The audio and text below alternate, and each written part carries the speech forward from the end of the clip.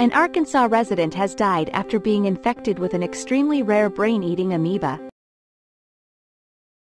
And health officials have concluded they were likely exposed to it at a country club's splash pad, authorities announced Thursday.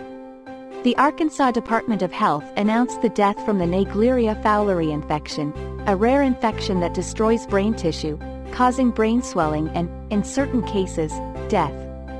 The department didn't release details on the age of the person who died. The department said there is no ongoing risk to the public from the exposure.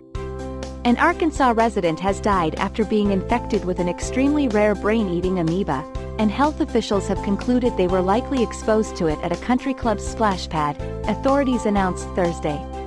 The Arkansas Department of Health announced the death from the Naegleria fowleri infection, a rare infection that destroys brain tissue, causing brain swelling and, in certain cases, death.